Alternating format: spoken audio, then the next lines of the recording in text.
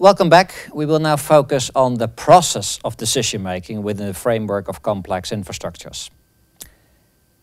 If you cannot fully understand the content of a problem, if you can't embrace all the complexity, and you want to solve it, the attention might shift to the process, from content to process, the process of interaction between the main players in this complex world. You start using your relations to solve a problem from content to process. I will give a very simple example.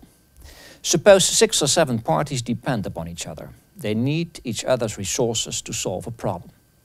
They have different opinions on both the problem analysis and the solution, and they are faced with many uncertainties.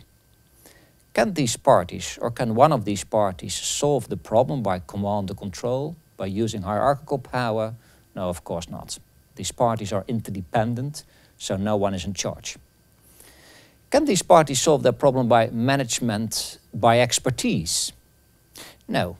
There are many uncertainties, so even experts will have to admit that they cannot solve the problem or that they can solve it only partially. Everyone will understand in such a situation, parties will have to negotiate, to interact. If no one is in charge, there's nothing left but to sit down with each other and to start a process of negotiation. These parties are faced with uncertainties and unknowns. How will they deal with that? In the process of interaction, they will exchange information and they might learn. Party A might have information that reduces the uncertainties of Party B. Or they might, might start a discussion on the uncertainties and reach consensus on what they think is the best problem analysis and the best solution.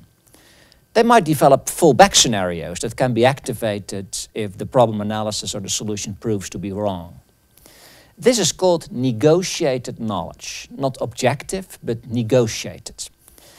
If decisions are being made in a process of negotiation, if uncertainties are reduced in a process of negotiation, the question becomes interesting whether we can design such a process. And the answer is yes.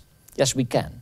A process design is a set of rules of the game that will be used by the negotiating parties to reach a, sense, uh, a decision, to reach negotiated knowledge.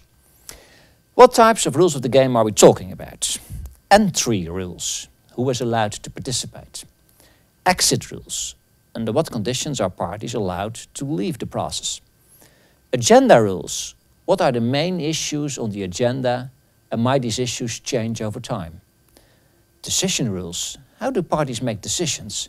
By consensus only, or will a majority vote do? Institutional rules, who manages the process? Who, for example, chairs the meetings? The essence of all these rules is that they should give each participant a fair chance to influence the decision making.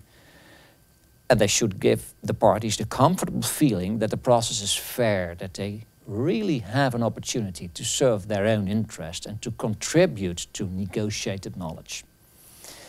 So the essence of governance is twofold. First, acknowledge that in a complex world no one understands or oversees all the complexity. Processes of decision making are almost always incremental, a matter of muddling through. As a result of that, the structures that emerge are patchwork-like. Is muddling through a problem no, it's inevitable and it is conducive to learning and adaptiveness. Muddling through is inevitable because there are so many relations between physical systems and between actors. The more interdependent these actors are, the more incentives they might have to work together. How can we stimulate them to cooperate? By bringing them together in a process of interaction and negotiation. Such a process can be designed in such a way that it has incentives for the participating parties to reach consensus and to find negotiated knowledge. Now today's final question is, is such a process just a process without any substantive guidelines? Of course not. Does content matter? Of course it does. There are several mechanisms parties should be aware of in the process of interaction. Consider these mechanisms as a kind of checklist that participants in the process can use when making their collective decisions. First, multiple scaling. Infrastructure systems are always multi-layer systems. You've been told about that in earlier lectures.